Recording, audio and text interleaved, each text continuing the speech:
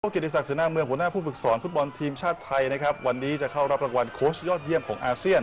ในงานประชุมของ AFF หรือว่าสหพันธ์ฟุตบอลของอาเซียนนะครับที่เมียนมาขณะที่นักเตะ 6 คนที่เดินทางไปโคซิโก้เนี่ยก็มีพีรพัฒน์โดชัยยาคือฤทธวีการเป็นต้นมีกวิน สารัตอยู่เย็นไม่ใช่เจของเราแล้วก็ธนบูรณ์ก็จะไปคือเป็น 6 คนที่ติดในทีมยอดเยี่ยมด้วยนะครับนอกจากนี้เจษดาชูเดชยังเป็นนักฟุตซอลยอดเยี่ยมของอาเซียนด้วย ผู้หญิงครับนิสาร่มเย็น นักฟุตบอลหญิงยอดเยี่ยมของอาเซียนครับ แล้วก็เดี๋ยวเขาจะเดินทางกลับกันวันพรุ่งนี้นะ แล้วก็ค่ะไปสมทบกับทีมนะครับที่กิเลนค่ะ วัลเลย์ที่เก็บตัวกันอยู่นะครับ